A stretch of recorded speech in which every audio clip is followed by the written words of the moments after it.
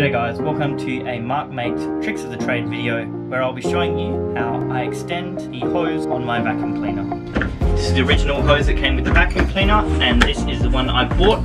So all you need to do is take one end off. I'm going to be taking this one off here. You can just unscrew that and pull it off. And then we want to be putting this one on our new hose. I'm just going to be putting a dab of quick grip make sure that doesn't come off. But you can use any glue that's going to work on a plastic and then screw that on to the new hose. You want to apply some decent pressure to make sure it's moved all the way to the end.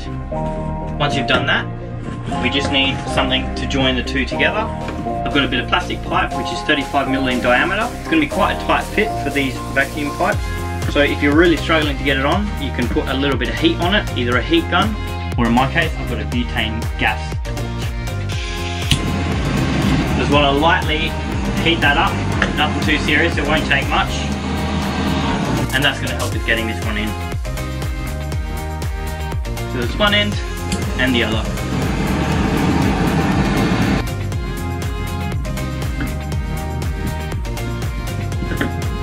That's going to shrink as it cools down. It should be a nice joint.